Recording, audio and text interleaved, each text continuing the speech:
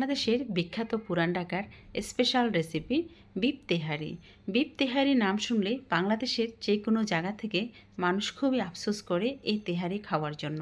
কিন্তু আফসোস নয়, ঘরে তৈরি করে ফেলতে পারেন একদম গরুয়া মশলায় সহজ এবং খুব সহজ ডাল ভাত থেকেও সহজ এই রেসিপিটা তৈরি করতে। এই রেসিপিটা এতটাই টেস্টি যেটা যারা খেয়েছে তারাই কিন্তু বুঝতে পেরেছেন পুরান ঢাকার স্পেশাল তেহারিটা কতটাই মজা। শুধু না, আমি কি পুরান ঢাকা স্পেশাল তেহেরি কিনে এনেছি? একদমই না। বাসায় তৈরি করে ফেলেছি এই গরোয়াভাবে হ্যালো ফ্রেন্ড আসসালামু আলাইকুম। আমি ফারিয়া, ঢাকা, বাংলাদেশ থেকে বলছি, ফার্নাস কুকিং হাউস ফুটি থেকে স্বাগতম। পুরান ঢাকার বাসিন্দা হিসাবে আপনাদের মাঝে এই ভিডিওটি না শেয়ার করলে নিজের কাছে মনে হচ্ছে অতৃপ্তি থেকে যাবে। একা একা খাব? না, আপনাদের মাঝেও কিন্তু শেয়ার করে দিই। আপনারা নিজেরা তৈরি করে নিতে পারবেন যে যেখান থেকে ভিডিওটা দেখছেন। তো আমি এখানে ছোট সাইজের আলু নিয়ে নিয়েছি। পনেরো বিশটা আলুটাকে এখন এক কাপ সরিষার তেলে এটাকে ভেজে নিচ্ছি। চলুন তাহলে ফুরান ঢাকার স্পেশাল তেহেরির মশলাটা তৈরি করে নিই। খেয়াল করবেন মশলাটা কীভাবে তৈরি করছি। আমি এখানে ছয়টা দিয়ে দিয়েছি সাদা এলাচ, একটু জয়ফলের অর্ধেক দিয়েছি, দুইটি জয়ত্রী দিয়েছি, তিনটি তেজপাতা দিয়ে দিয়েছি অফ ক্যামেরা একটি কালো এলাচ চলে গিয়েছে দুটি কালো এলাচ দিয়ে দিয়েছিলাম, তিন চার টুকরা দিয়ে দিয়েছি দারচিনি। আর দিয়ে দিব এখানে আমি পাঁচ ছয়টা লবঙ্গ দিয়ে দিয়েছি। হাফ চা চামচ দিয়ে দিব আমি কালো গোলমরিচ, হাফ চা চামচ দিয়ে দিব সাদা গোলমরিচ। এখন এটাকে আমি ব্লেন্ড করে নিচ্ছি। সরিষার তেলে, এখন অবশিষ্ট সরিষার তেলে আমি দিয়ে দিচ্ছি এখানে দেড় কাপ পেঁয়াজ কুচি। পেঁয়াজটা একটু ভাজা ভাজা হয়ে আসলে দিয়ে দিব এখানে আমি এক টেবিল চামচ দিয়ে দিয়েছি আদা বাটা, এক টেবিল চামচ দিয়ে দিব আমি এখানে রসুন বাটা। এখন এই দুইটাকে আমি ভালো করে আরও দুই থেকে তিন মিনিট পেজে নিচ্ছি। দিয়ে দিচ্ছি এখানে দশ বারোটা কাঁচামরিচটাকে আমি ভেঙে দিচ্ছি। ঝালটা আপনাদের উপরে নির্ভর করবে আপনারা কেমনটা ঝাল খান। আমার কাছে তেহেরি একটু ঝাল ঝাল হলে খুব ভালো লাগে। এখন আমি এটাকে আরও দুই মিনিট ভেজে নেওয়ার পরে এখানে দিয়ে দিচ্ছি স্বাদ মতো লবণ। লবণ দিয়ে আমি কিছু ঘরোয়া মশলা অ্যাড করব। বন্ধুরা, এখানে হচ্ছে যে আপনারা চাইলে গরম মশলাটা অ্যাড করতে পারেন নয়তো আপনার প্যাকেট মশলা দিয়ে করতে পারেন। তবে যারা ঘরোয়াভাবে রান্না করবেন, তারা এই গরম মশলাটা দিবেন। কিন্তু আপনার যে, আমরা যে পুরান ডাকের স্পেশাল যেটা তৈরি করা হয়, তারা কিন্তু যে এক্সট্রা গরোয়া মশলাটা দেয়, সেটা কিন্তু বলে না।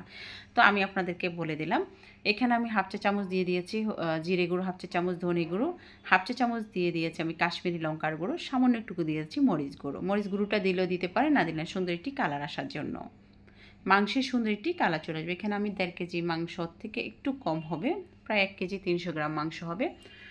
এখন আমি মশলার সাথে মাংসটাকে ভালো করে মিশিয়ে নিচ্ছি। এটাকে দুই তিন মিনিট ভালো করে আমি মিশিয়ে নেওয়ার পরে এখন তার সাথে আমি অ্যাড করব। আপনার তেহেরির মাংসটা অবশ্যই একটু আপনার চর্বিযুক্ত মাংস নেওয়ার চেষ্টা করবেন। একটা অতিরিক্ত চর্বি না, একটু মাংসতে চর্বি থাকলে সেক্ষেত্রে তেহেরিটা খেতে কিন্তু খুব ভালো লাগে। আর যে তেহেরির ভাতগুলো একটু তৈলাক্ত তৈলাক্ত হয় সেটা খেতে কিন্তু ভালো লাগে। তেহেরিটা রান্না করবেন অবশ্যই হান্ড্রেড পার্সেন্ট সরিষার তেল দিয়ে। তো এখানে যে আমি মশলাটা তৈরি করে আপনাদেরকে দেখাচ্ছি, সেই মশলাটা পুরোটাই দিয়ে দিলাম আমি এখানে। তো মশলাটা দিয়ে এখন আমি এটাকে আরও দুই থেকে তিন মিনিট কষিয়ে নিচ্ছি। কষানোর উপরে নির্ভর করবে আপনার তেহেরির স্বাদটা। মাংস দিয়ে যাতে আপনি রান্না করছেন, মাংসটা তো ভালো করে স্বাদ করতে হবে, তারপর আসবে তেহেরি রান্নাটা।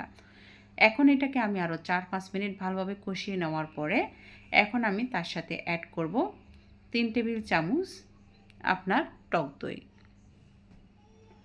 এখানে আমি তিন টেবিল চামচ টক দই অ্যাড করতেছি। আমার এটা হচ্ছে আড়ং থেকে টক দইটা নিয়ে নিয়েছে যাদের ঘরোয়াভাবে তৈরি করেছেন টক দই আছে, তারা ঘরোয়া টক দই দিতে পারেন তাতে আরও ভালো। তো এই পর্যায়ে চুলার আঁচটাকে আমি মিডিয়ামে রেখেছি। এখন আমি মাংসের সাথে ভালো করে টক দইটা মিক্স করে নেব। যাদের হচ্ছে প্রেশার কুকারে রান্না করবেন, তাদের তেমন একটা সময় লাগবে না। আমি যাতে চুলা রান্না করতেছি সেক্ষেত্রে হচ্ছে যে একটু সময় লাগবে, মাংসটা সিদ্ধ হতে। তো এটাকে আমি আরও স্বাদ মতন লবণ দিয়ে এটাকে একটু নাড়াচাড়া করে হাই হিটে এটাকে আমি এখন আমি হচ্ছে বারোশো ভোল্টেজ দিয়ে দিয়েছি ইমপ্রেট চোলার। আমি এখানে একটু গোলমরিচ গুঁড়ো দিয়ে দিয়েছি। এটাকে আমি আরও বিশ মিনিট ভালো করে কষিয়ে নেব। এখন ঢাকনি লাগিয়ে দিচ্ছি। বিশ মিনিট পর ফিরে আসলাম। প্রায় আপনার ফর্টি ফিফটি পার্সেন্টের মতো মাংসটা কিন্তু কষানো হয়ে গিয়েছে, দেখতে পাচ্ছেন। খুব সুন্দর এখনও গায়ে গায়ে মাখা মাখা ঝোল রয়েছে। আমি কোনো কিন্তু এখনও এখনও পানি অ্যাড করিনি। এখন আমি আড়াই কাপ গরম পানি অ্যাড করে এটাকে আরও তিরিশ থেকে চল্লিশ মিনিটের জন্য মিডিয়াম আছে, এটাকে রান্না করে নেব। তেহেরির মাংসটা অবশ্যই মিডিয়াম আছে, রান্না করার চেষ্টা করবেন। তাহলে মাংসটা কিন্তু দ্রুত সিদ্ধ হয়ে যাবে। তেহেরির মাংস সবসময় নরম থাকে। খেতে কিন্তু খুব ভালো লাগে। এখন মাংসগুলোকে উঠিয়ে নিলাম। ওই তেল জাতীয় মশলার ভিতরে দিয়ে দিলাম। আমি এখানে স্টাক কোনো তেল দেওয়া লাগল না, চালগুলোকে দিয়ে দিলাম। এখানে হচ্ছে যে সাড়ে তিনশো থেকে চারশো গ্রামের মতন চাউল হবে। এখন আমি একটু স্বাদ মতন লবণ দিয়ে দিলাম। লবণ দিয়ে এটাকে আমি আরও পাঁচ ছয় মিনিট বেজে নেব মশলার সাথে।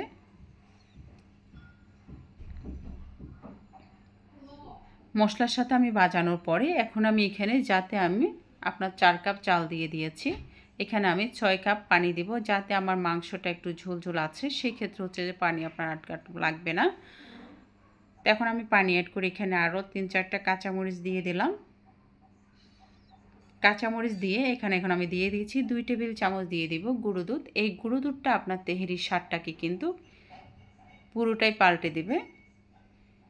বন্ধুরা ভিডিওটি কে কোথা থেকে দেখেছেন অবশ্য মন্তব্য করে জানিয়ে দিবেন। যারা আমার চ্যানেলটিকে সাবস্ক্রাইব করেছেন, তাদেরকে অসংখ্য ধন্যবাদ। যারা এখনও করেনি প্লিজ আমার চ্যানেলটিকে সাবস্ক্রাইব করে পাশে থাকা বেল বাটনটি ক্লিক করে দিবেন। তা আমি এটা ব্লক ওটা পর্যন্ত অপেক্ষা করতেছি। এখানে এখন আমি অ্যাড করব এক টেবিল চামচ কেওড়া জল, যার ফ্লেভারটা ছড়িয়ে যাবে সাত বাড়ি পর্যন্ত। পুরান টাকের স্পেশাল হচ্ছে তেহারিতে আপনার গুরু দুধ আর হচ্ছে যে আপনার হচ্ছে যে কেওড়া জল। এখন আমি ভাজা আলুগুলাকে অ্যাড করলাম আর সাথে দিয়ে দিলাম মাংসটা। বাটার টানা যাওয়ার পরে এখানে প্রায় ফিফটি পার্সেন্টের মতন বাটা সিদ্ধ হয়ে গিয়েছে। এখন এটাকে আমি চুলার আঁচটাকে একদম লো হিট করে দিয়ে ঢাকনিটাকে এখানে একটা ব্লক করে দিয়েছি। আরও পনেরো থেকে বিশ মিনিট রান্না করলাম। দেখতে পাচ্ছেন কতটা জোর জোড়া হয়েছে। তো এটা ঠান্ডা হলে আরও জোরজোড়া হয়ে যাবে। তো এভাবে আমি পরিবেশন করে দেখাচ্ছি। বন্ধুরা, ভিডিওটি যদি আপনাদের ভালো লেগে থাকে, পরিবার পরিজনদের সাথে শেয়ার করবেন ফ্যামিলি ফ্রেন্ড সার্কেলদের সাথে শেয়ার করবেন। নিজেরা তৈরি করে পছন্দ মতন খেতে পারবেন, নিজেদের ইচ্ছে মতো আমরা যখন বাজার থেকে নিয়ে আসি, তখন কিন্তু এক প্যাকেট তেহারের ভিতর দুই তিন টুকরা মাংস থাকে, তাও পেট ভরে আপনাদের তুষ্টি না এভাবে ঘরে তৈরি করে নিজেরাই খেতে পারেন। আপনার পরিবার পরিজন অবশ্যই আপনার রান্না করলে, এভাবে রান্না করলে প্রশংসায় পঞ্চমুখ হবেন আপনার পরিবার পরিজনদের কাছে। চলে এসেছে আর ঈদে স্পেশালভাবে তৈরি করতে পারেন এই মজাদার বিপ তেহারিটা।